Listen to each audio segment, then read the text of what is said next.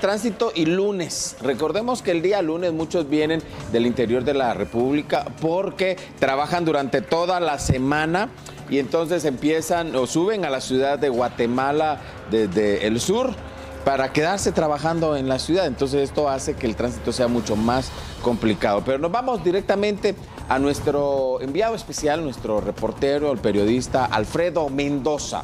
El periodista Mendoza nos tiene ya datos, reportes de lo que está sucediendo, por supuesto, con respecto a este tema. André. Así es, Alfredo, muy buenos días. Cuéntanos desde qué punto de la ciudad capital te encuentras y cómo está la lluvia a esta hora. Buenos días.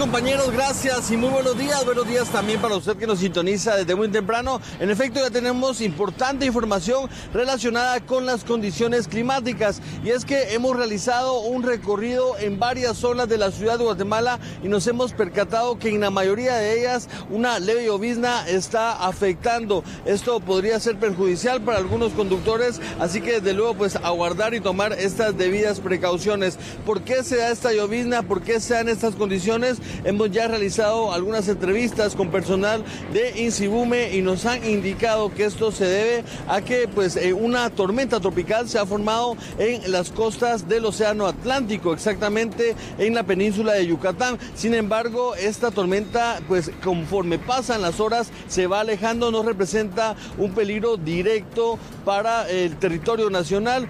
Este tipo de movimiento que está tomando la tormenta es lo que está generando estas lloviznas que se dan de sur hacia la meseta central de pues el territorio nacional. Ustedes lo pueden observar, es una leve llovizna, muchos también pues la denominan y la califican como el denominado chipi chipi. Esto pues se da a esta hora de la mañana en algunas zonas de la ciudad de Guatemala. Justo nos ubicamos en la zona 2. Usted lo que puede observar en sus pantallas es el panorama de la calle Martí. La recomendación es para todos los conductores que aún no han salido de sus viviendas, tengan en cuenta que la cinta asfáltica permanece mojada, esto hasta cierto punto hace que la circulación sea más lenta también, entonces pues hay que tomarse el tiempo adecuado y sobre todo tener esta paciencia en el tránsito vehicular en este inicio de semana. Es la información que tenemos hasta el momento, enfatizando que esa tormenta eh, denominada de nombre Michael ya no representa un peligro latente, un peligro directo para para el territorio nacional. Sin embargo, el tipo de movimiento que está teniendo hacia el norte es lo que ha ocasionado estas lloviznas. Con esta información regreso con ustedes a Estudios Centrales. Muy buenos días. Alfredo, buenos días. Gracias. Estaremos contigo más adelante en este informe especial que nos estás dando. Este sondeo que se está trabajando en estos momentos en distintos puntos de la ciudad de Guatemala, como lo mencionábamos, en algunos sectores está la lluvia permanente, en otros puntos de la ciudad de Guatemala, otras zonas no hay lluvia pero estamos, por supuesto, monitoreando cada uno de los pasos, cada uno de los puntos para que usted lo tome en cuenta. Realmente es una lluvia de la temporada, pero la misma lluvia de la temporada provoca, como siempre, mayor tránsito a la hora de movilizarse. Aquí tenemos, mira Andrea, esta imagen del cielo. ¿Cómo amanece Guatemala?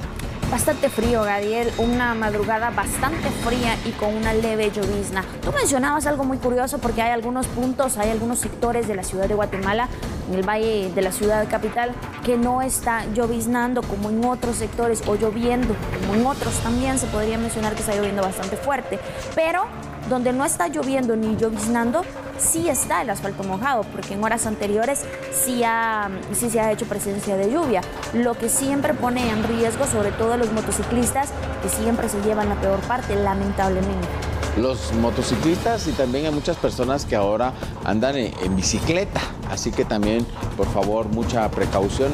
Les recordamos que el tránsito está en algunos puntos un poco complicado debido a la llovizna permanente que está en la ciudad de Guatemala. Pero tú decías algo, Andrea, tocabas un punto, el frío, la baja temperatura. Mira, aquí estamos viendo cómo está esta área de la llovizna en la ciudad de Guatemala, cómo están dando, pues, la vía, cómo están los agentes de seguridad pues trabajando para monitorear este sector para que usted lo pueda tomar en cuenta. La zona 2 de la ciudad de Guatemala así amanece cuando son las 6 de la mañana con 17 minutos.